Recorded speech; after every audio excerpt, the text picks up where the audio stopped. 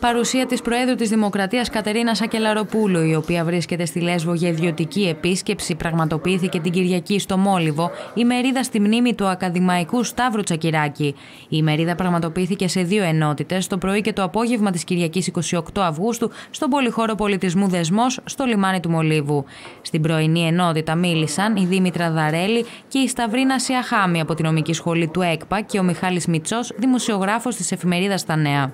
Κατά την απογευματινή συνεδρία έγιναν εισηγήσεις με θέμα ρωσική εισβολή στην Ουκρανία, ηθικά και νομικά διλήμματα. Με ομιλητές τους Γιάννη Βούλγαρη, καθηγητή πολιτικής επιστήμης στο Πάντιο Πανεπιστήμιο, Νικόλα Βούλγαρη, βοηθό διδασκαλίας νομικής σχολής ΕΚΠΑ, Κωνσταντίνο Παπαγεωργίου, καθηγητή φιλοσοφίας δικαίου νομικής σχολής ΕΚΠΑ και Ματίνα Παπαδάκη από την νομική σχολή ΕΚΠΑ επίσης.